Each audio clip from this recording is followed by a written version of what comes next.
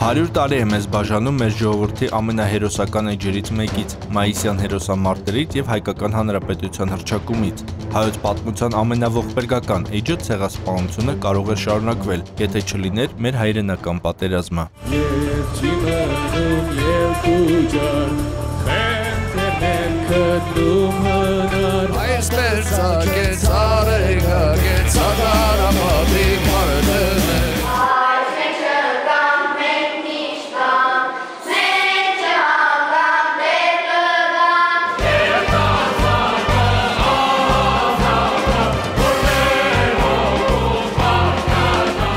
Չկարողանալով թուրքական հարձակմանը դիմագրավել Արևմտյան Հայաստանում, հայ ժողովուրդը ստիպված ամենից վճռական մարտն ընդունեց Հայաստանի սրտում՝ Արարատյան դաշտավայրում։ Թեև ժամանակի ռազմական ու քաղաքական վերնախավի մի մասը կոչ էր անում նահանջել միջև Սևան եւ այնտեղ կազմակերպել ինքնապաշտպանությունը։ Բայց հա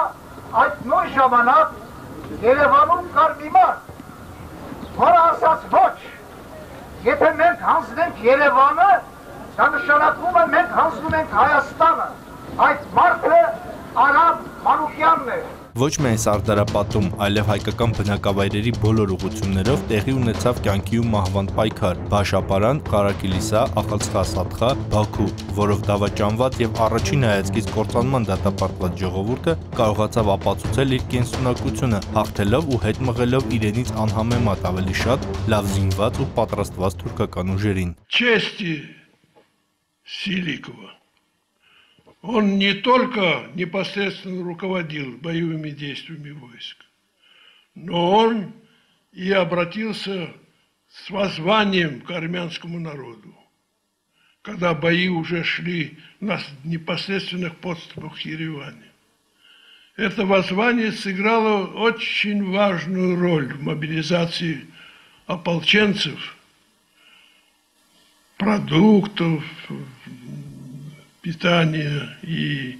других предметов, что нужно войскам. Ինչպես մեր ժողովրդի պատմության մեջ հաճախ է պատահում, 100 տարի առաջ էլ ռազմական փայլուն հաղթանակները շատ ուշ գրանցվեցին, որպես քաղաքական իրողություններ։ Վրաստանի, ապա նաև Ադրբեջանի անկախության հռչակագրերից հետո մայիսի 28-ը դարձավ Հայաստանի անկախության օրը։ Թեև հայ քաղաքական գործիչները այդ ծանր ժամանակահատվածում փորձում էին խուսափել լրացուցիչ ծանր որոշումից, հաշվի առնելով անկախության բերած վտանգները։ Իսկ 1 տարի անց 1919 թվականի մայիսի 28-ին հռչակվեց ազատ, անկախ եւ Միացյալ Հայաստանը, որ հավակնում էր միավորելու Թուրքիային թողնված հայկական գավառները։ Իրելի հայրենագարոտ, հայրենագիցներ,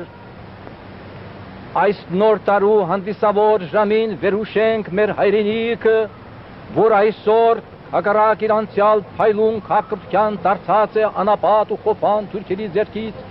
Չմոռանանք մեր պայքարները, որ մղեցինք մեզ դաշնակիցների կողքին մեր ազատության եւ մեր անկախության համար, չմոռանանք այն ողբերգությունը, որ նրան հետևեց։ Այսպիսով մայիսի 28-ը դարձավ մի անջնջելի խորհրդանիշ, նախ անկախության խորհրդանիշ, ապա խորհրդային Հայաստանի գոյության ընթացքում Հայաստանի ու Սփյուռքի հակադրության խորհրդանիշ։ Ու չնայած 70 տարիների ընթացքում անընդհատ փորձ էր արվում նսեմացնելու առաջին հանրապետության կարևորությունը, այդուհանդերձ հենց մայիսի 28-ը 1988-ին դարձավ անցյալի ու ապագայի միջև կամուրջ, որը նոր լիցք հաղորդեց համաժողովրդական շարժմանը։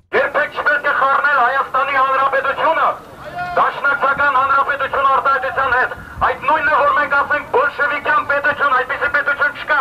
Սովետական միություն է սա։ Չվախենենք բարձելու Հայաստանի Հանրապետության դրոշը։ Չվախենենք ոչինչ ճշմարիտ ասելու, որովհետև պրովոկացիաներից ոչ թե մենք պիտի վախենանք, այլ պրովոկացիա անողը։ Առ այսօր առաջին հանրապետության դերն ու նշանակությունը հակառակ այս ռոպեական քաղաքական շահերին Հայաստանի ոչ մի իշխանություն չի ուրացել։ Այսօր մենք նույնպես դժվարին օրեր ենք ապրում,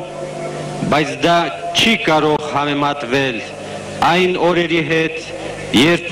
կերտվեց հայոց անկախ պետականությունը։ Առաջին հանրապետությունը ձևավորեց այն, ինչ մենք այսօր հասկանում ենք Հայաստան ասելով, եւ տարածքի եւ մտածողության եւ անիրական երազանքների ու պրագմատիկ ցանկությունների եւ հարաբերությունների եւ նույնիսկ խնդիրների իմաստով։